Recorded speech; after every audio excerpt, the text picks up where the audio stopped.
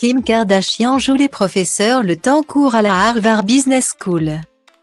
Le temps d'une journée, la star américaine Kim Kardashian a joué les professeurs à la Harvard Business School.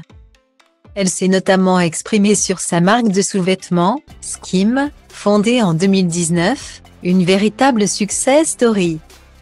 Kim Kardashian est une femme d'affaires redoutable celle qui s'est fait connaître grâce à l'émission L'incroyable famille Kardashian a bâti un véritable empire. En 2021, la maman de Noord a officiellement atteint le statut de milliardaire en figurant pour la première fois dans la fameuse liste établie chaque année par Forbes. Grâce à son entreprise de cosmétiques KKW Beauty et sa marque vêtements Skim, sa fortune est estimée à plus de 1,8 milliards de dollars. Et c'est pour parler de la réussite de cette dernière que la jeune femme a été invitée par la fameuse Harvard Business School.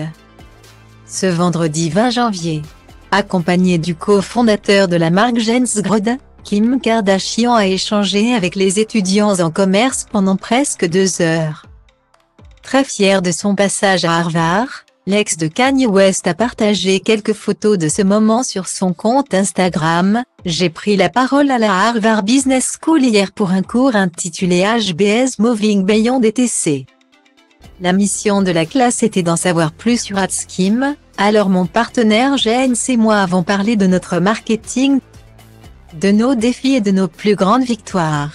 Je suis tellement fier de Skim et l'idée qu'il s'agisse d'un cours étudié à Harvard est tout simplement folle. Merci professeur Lench et à Harvard de nous avoir reçus. Interrogée sur la chaîne NBC, une des étudiantes a exprimé son ressenti, je pense que beaucoup de gens ont encore du mal à la voir comme une femme d'affaires qui co-dirige une entreprise qui vaut plusieurs milliards de dollars. Suite à une levée de fonds de 240 millions de dollars, la société a été évaluée à 3,2 milliards de dollars en 2022 par Forbes. Elle a notamment été fournisseur officiel des athlètes féminines américaines aux Jeux olympiques et paralympiques de Tokyo.